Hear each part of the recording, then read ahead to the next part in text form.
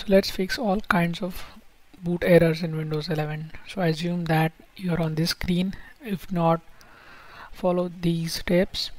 Mm, then click on advanced options. Then in the next screen uh, we will click on troubleshoot.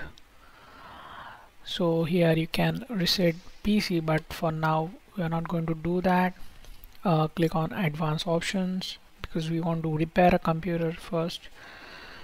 Mm, then uh, you also can uninstall updates which are faulty which you might have updated recently and uh, and that might have caused problem. So there are two options here but we, we are not going to do that. So we'll just go back. We'll fix it using command prompt but for now click on startup repair mm, the first option. Now let it restart. Mm, and it'll come back to the same uh, screen. Now click on advanced options again. Click troubleshoot. Click on advanced options. Click command prompt this time. Now in the command prompt type this command chkdsk so this will check for any disk errors if, uh, if, if there are. Now the next command would be sfc scan now. Follow the screen.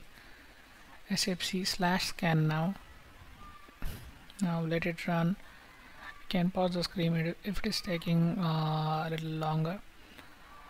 So once that is done so the next command is uh,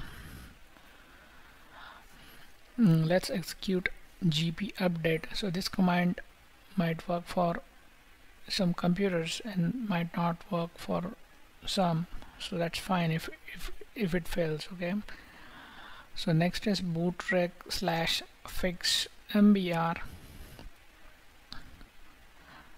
so um, after that type bootrec space slash uh, fix boot. So this command also is um, supported by some computers or it requires some higher privileges access. So it's fine if it uh, does not work.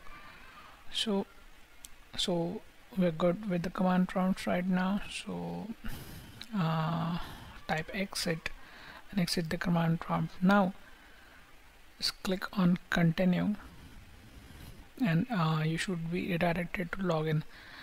If if not just uh, see my pinned comment. I'll be answering all of your questions there